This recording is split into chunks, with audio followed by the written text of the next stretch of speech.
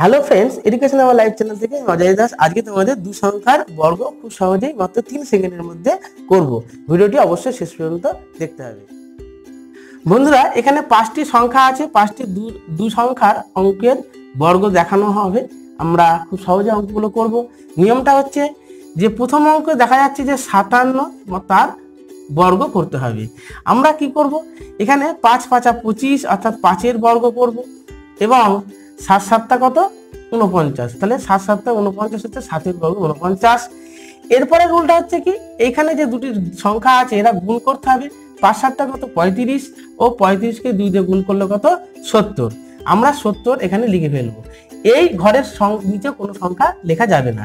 এবার আমরা যদি যোগ করি, দেখা যাচ্ছে নয় নেমে গেল এবং চার আর শূন্যতে হচ্ছে যোগ করলে চার, পাঁচ আর সাথে বারো দুই হাসা করলে এক দুই আর একে তিন, অর্থাৎ তিন দুই, চার, নয়। তাহলে এই তিন হাজার দুশো উনপঞ্চাশ, এই সাতান্নর বর্গ। বন্ধুরা, এই প্রথম অঙ্কের মতো আমরা এই অঙ্কগুলো করব। একই রকম রুলে এখানে কত আছে? দ্বিতীয় অঙ্কটাই উনপঞ্চাশের বর্গ। অর্থাৎ এখানে চার আর নয় আছে। তাহলে আমরা কি করব? চার চারা কত লিখব? ষোলো এবং নয়, নয়ে, একাশি। এবার চার নং কত? এই দুটোর মধ্যে গুণ করতে হবে। চার নং ছত্রিশ। ছত্রিশকে দুই দিয়ে গুণ করলে কত হচ্ছে? বাহাত্তর। আমরা কি বলেছি? এই ঘরটার নিচে কোনো কিছু বসবে না। পাশাপাশি বসে যাচ্ছে।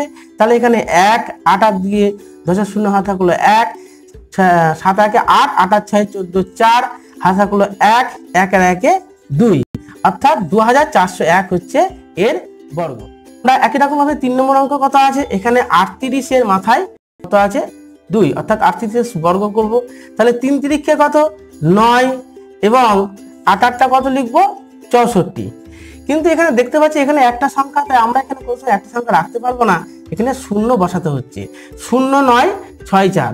এখানে তিন আটটা কত? তিন আটটা চব্বিশ এবং চব্বিশ দুগুণে আটচল্লিশ। আমরা আটচল্লিশ এখানে লিখে ফেলব। যোগ করলে কত হচ্ছে? চার। ছয় আটে চোদ্দ। চার হাতে থাকল এক। চার একে পাঁচ। পাঁচ আর নয় কত? চোদ্দ। তাহলে হাতে থাকল এক, শূন্য আর একে এক। তাহলে এক হাজার চারশো চুয়াল্লিশ হচ্ছে আটত্রিশের বর্গ। চার নম্বর অঙ্ক দেখতে পাচ্ছি কত? এখানে আছে বিরানব্বই এর মাথায় দুই, অর্থাৎ বিরানব্বই এর বর্গ বার করব। তাহলে আমরা কি করব? এখানে নয়, নয়ের বর্গ কত? একাশি ও দুইয়ের বর্গ কত? চার। তাহলে চার না লিখে কি লিখব? এখানে শূন্য চার লিখব। এবং শূন্য চার লিখলে এখানে নয় দুগুণে আঠেরো আঠেরো দুগুণে কত? ছত্রিশ। অর্থাৎ এই দুটো গুণ করে এটা আবার গুণ করতে হবে। তাহলে ছত্রিশ আমরা এখানে লিখব। তাহলে এই চার, এই ছয় নেমে গেল। তিনের একে চার ও এখানে আট। তাহলে উত্তরটা হচ্ছে আট হাজার চারশো চৌষট্টি। আট হাজার চারশো চৌষট্টি হচ্ছে বিরানব্বই এইভাবে এই নিয়মে দুই অঙ্কের সমস্ত সংখ্যারই কিন্তু আমরা বর্গ করতে পারব। এখানে সাতানব্বই এর বর্গটা একটু আলাদা হবে। কীরকম? সাতানব্বই এর বর্গটা আমাদের দেখতে হবে। সাতানব্বই বর্গের ক্ষেত্রে কি হবে? আমরা লিখব নয় নয় কত একাশি, অর্থাৎ নয় বর্গ একাশি, সাত সাতটা কত উনপঞ্চাশ আমরা একই রকম ভাবে সাত নং কত? তেষট্টি? তেষট্টি দুগুণে হচ্ছে একশো ছাব্বিশ। কিন্তু আমরা এর নিচে কিন্তু কোনো সংখ্যা লিখব না, তাই এখানে লিখব ছয়, এখানে ফাঁকা থাকবে, এখানে দুই ও এখানে এক। এতক্ষণ পর্যন্ত দুটো করে সংখ্যা লিখছিলাম, কিন্তু তিনটে সংখ্যা আসার জন্য আমাদের কিন্তু এটা এদিকে লিখতে হবে। এই ঘরটার নিচে ফাঁকা থাকবে। তাহলে নয়, এখানে বসে গেল, ও চার আর ছয় দশের শূন্য হাত থাকল এক, দুই একে তিন তিন একে চার ও আট একে নয়।